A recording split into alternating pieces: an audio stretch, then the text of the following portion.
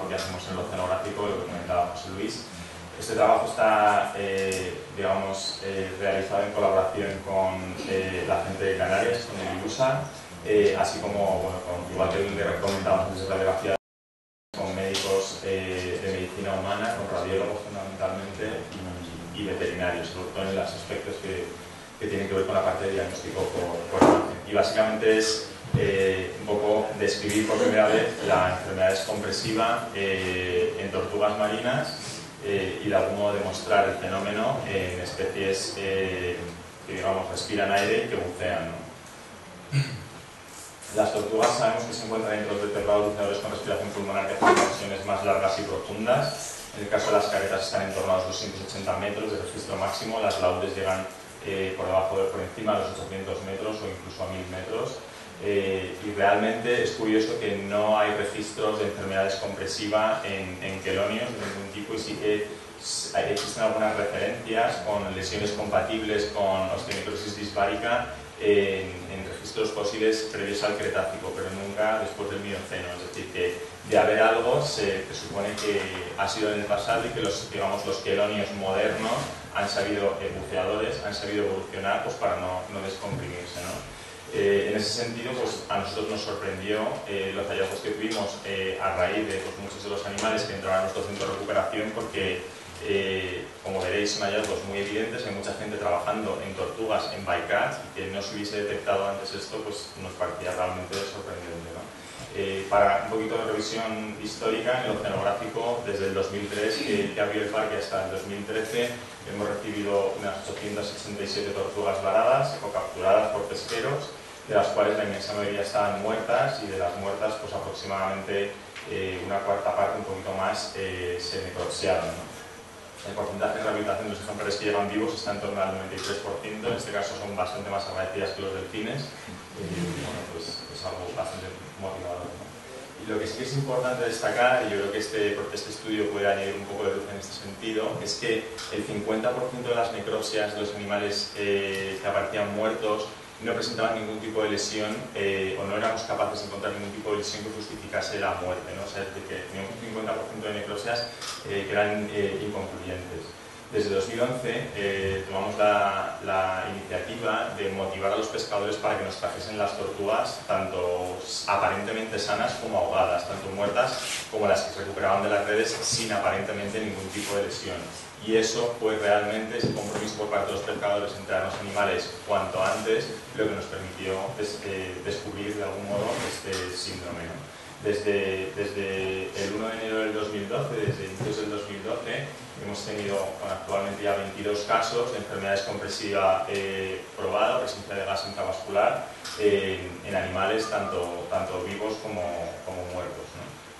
Básicamente lo que nos llamaba la, atención es que el pescador cuando recuperaba la tortuga a bordo, eh, digamos, reportaba, o cuando nos llegaba incluso si era muy pronto, porque la sacaban en el mismo Valencia, llegaban a nuestro centro de recuperación, veíamos las tortugas eh, o que llegaban completamente normales, un animal que habían capturado accidentalmente y no presentaba ningún tipo de sintomatología, o había una serie de animales que curiosamente salían como muy nerviosos o cuando los ponían en la cubierta del barco empezaban a, eh, digamos, entrar en una fase como de hiperexcitación y progresivamente estaban, entraban en un estado comatoso que en, en, fases subsiguientes o con el paso del tiempo llegaban a morir en, algún, en, algunos casos a pesar de la terapia de soporte, mientras que había otros animales que típicamente salían ya de la red comatosos, que eran los típicos animales que considerábamos ahogados, que cuando intubábamos intratraquealmente pues para poner ventilación asistida expulsaban una cantidad de agua, pero era algo que no sucedía en estos animales. Estos animales se reportaban como que salían normales, entraban en hiper, hiperactividad o que el animal se encontraba como incómodo y progresivamente se, se apagaba. Y luego, por último, una cuarta categoría que eran animales que el pescador directamente recuperaba eh, aparentemente muerto o directamente no respondiendo a ningún tipo de reflejo ni estímulos y que bueno, nosotros por ecografía confirmábamos que estaban en la historia. ¿no? Los animales que de algún modo nos intrigaban eran aquellos animales que el pescador reportaba, que sacaba vivos y activos y que nos llegaban a nosotros prácticamente muertos y no respondían a la terapia de soporte convencional, mientras que los animales que salían en mucho peor estado se recuperaban sin problema.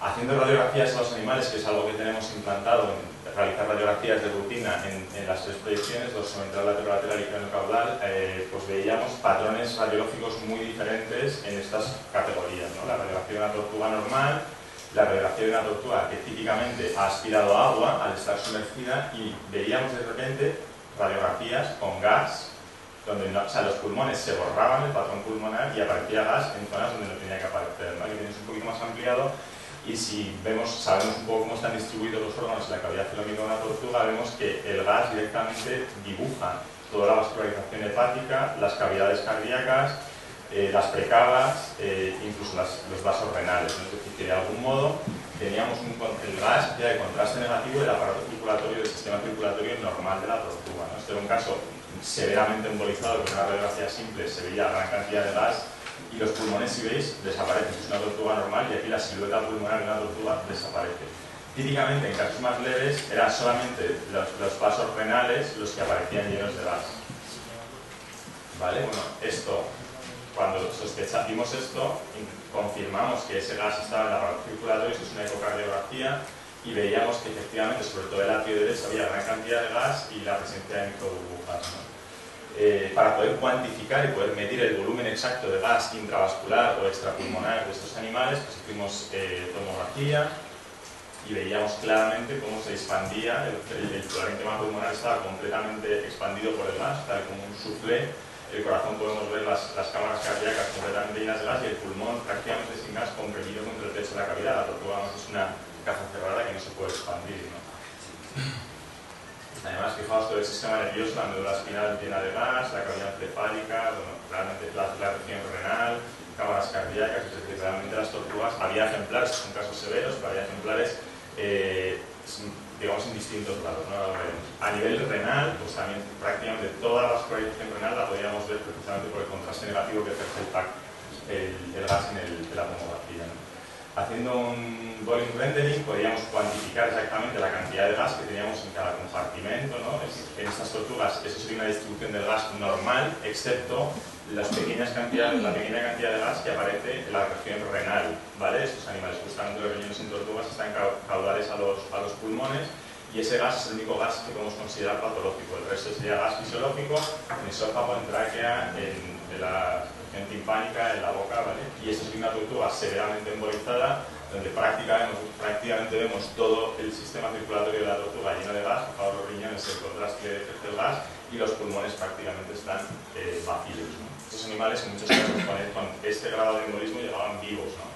es la diferencia importante comparado con un cetáceo. Los aeropuertos necrosis son eh, muy, muy, o eran, o son, muy similares a los, a los observados en cetáceos, ¿no? sobre todo la, la aurícula derecha muchas veces completamente distendida por el gas, a veces también la izquierda, el seno venoso, eh, en estos casos claro, las dos aurículas completamente llenas de gas, muchas veces en la ecocardiografía sería el corazón latiendo en vacío, no movían nada de sangre, todos los vasos mesentéricos, las, digamos, los, los vasos sanguíneos, las, las, venas gástricas, los riñones, las, las venas renales, incluso en animales severamente embolizados veíamos como que parte del, plasma sanguíneo trasudaba digamos, a la cavidad celómica, como que el animal se desoraba en vida. Típicamente estos animales tendrían a tener hematocritos eh, bastante altos.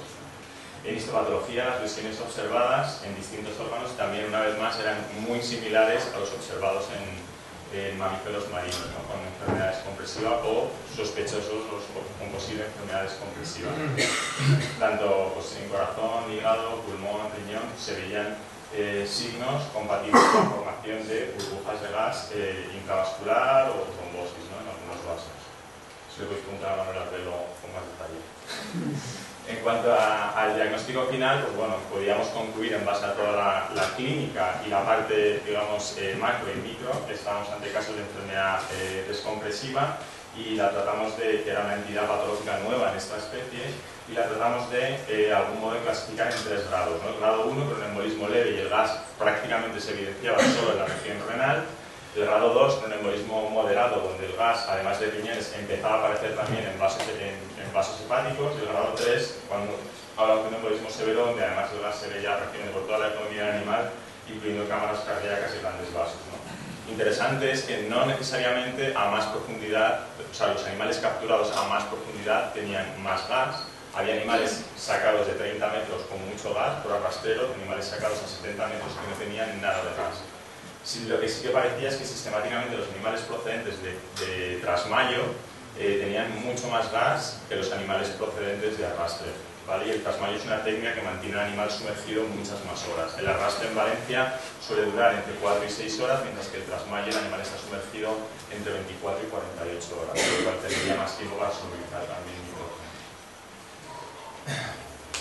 Bueno, tratamos de establecer la técnica diagnóstica precoz eh, desde el punto de vista de centro de recuperación que nos permitiese diagnosticar la enfermedad descompresiva cuando te llega el animal más sencilla, sin tener que llevar el animal a un TAC y vimos que realmente la radiografía simple y la ecografía eran suficientes, tenía una, digamos, una sensibilidad suficiente como para encontrar eh, digamos, gas eh, intravascular. En la, la radiografía dorsoventral la presencia de gas en la región renal en casos leves no es muy evidente, pero la laterolateral enseguida es bastante patente que en un animal sin gas no aparece y en un animal con gas veis que justamente detrás del pulmón vemos una manchita negra que es un caso moderado de enfermedad descompresiva por lo menos la gaseosa. En la ecografía eh, renal se ven pequeñas burbujas de gas en el parenquima renal y desde luego las venas renales tal y como se corresponde con la, con. En casos leves, ya en el TAC, veíamos que aunque la presencia de gas en riñones o en hígado fuese muy moderada, fijaos en el sistema nervioso y estas tortugas tenían sintomatología neurológica exactamente igual o muy similar a lo descrito en humana, eh, en médula espinal o en algunos casos también incluso en cerebro, más allá de que no hubiese gran cantidad de gas eh, intravascular en el resto de la economía del animal. Realmente eh, nos planteamos cómo tratar estos animales, ¿no? en, los, casos leves muchas veces el animal no moría y realmente incluso aunque no aplicásemos un tratamiento, hicimos un tratamiento de soporte con fluidos, oxígeno y demás, el animal salía adelante pero en los casos, eh, digamos, moderados, eh, realmente el animal terminaba muriendo si no hacíamos un tratamiento hiperbárico, que ahora veréis. Y los casos muy, muy graves realmente nos llegaban muertos, porque pasan, pasan varias horas entre que el pescador saca la tortuga a superficie, el animal se empieza a embolizar y nos llega a nosotros, a veces pasan 12, incluso 24 horas, entonces no hay tiempo para la recompresión y el animal muere antes. Realmente en esos animales que se nos morían con embolismo moderado, nos planteamos intentar recomprimirlos sospechando que era enfermedad eh, descompresiva eh, ante lo que estábamos. Entonces, no teníamos, estuvimos buscando cámara hiperbárica, no era fácil acceder a una y realmente eh, presurizamos los animales en el autoclave de la clínica. Hicimos una tabla de descompresión, digamos la que se utiliza para la humana, empezando a una presión con oxígeno puro, en humana se hacen fases de oxígeno puro con aire atmosférico de 5 minutos, nosotros no teníamos en un autoclave la posibilidad de hacer estos cambios de gases y entonces hicimos digamos, un protocolo directamente con oxígeno puro durante todo el proceso, empezando con unas atmósferas para no pasarnos, no causar toxicidad y luego progresivamente dar una bajada a una atmósfera y mantenerla ahí otras tres horas y luego ya bajar. ¿Vale? Como os comentaba, las tortugas llevan con sintomatología neurológica, muchas veces por la presente formación de burbujas en, eh, bueno, realmente hemos recomprimido dos tortugas, aunque hay otras tortugas que han resuelto sin recompresión, pero casos moderados graves, o sea, más o menos graves, hemos recomprimido dos. Eh, y la, sintomatología neurológica típica era este plegamiento de aletas por debajo del, del o del caparazón. Eh, no sabemos o interpretamos que como signo de dolor, porque en principio es una patología bastante dolorosa el autoclave de la clínica, que era la única cámara que al final encontramos como que podíamos meter presión, la podíamos controlar más o menos, a través del desagüe del autoclave conectamos un cilindro de oxígeno y mediante el manómetro del autoclave podíamos controlar la presión a la que sometíamos al animal.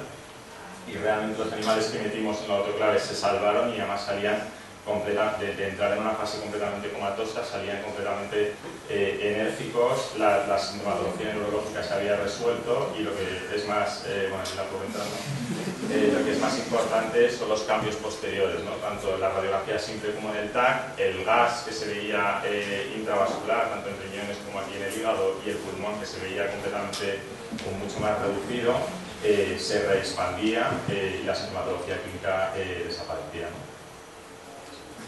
Eh, bueno, básicamente eh, las conclusiones es que tenemos que tener en cuenta en base a estos hallazgos que las tortugas marinas pescadas principalmente pueden tener enfermedad descompresiva, incluso aunque el pescador la reporte, reporte que, el animal estaba sano cuando lo saca superficie, que sería lo normal, y, esto debe modificar o al menos reconsiderar los protocolos actuales en los que se indica que si la tortuga, cuando la recuperas del palanque o del arrastre, está aparentemente normal, la debes devolver al mar, realmente ese animal puede estar sufriendo o puede terminar sufriendo eh, enfermedades compresivas.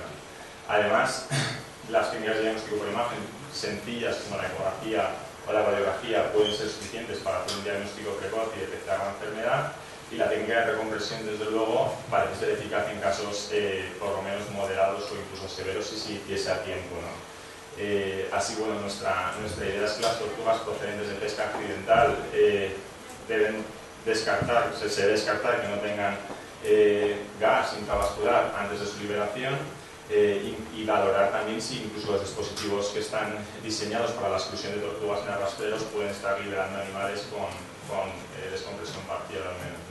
Y desde luego un punto fundamental es incluir el embolismo gaseoso en esta especie como parte del diagnóstico diferencial en casos de hallazgos de tortugas eh, varados en playa, sobre todo cuando no aparece ningún otro tipo de signo compatible que justifique la, muerte del animal. Eh, y en principio eso es, es todo. Muchas gracias.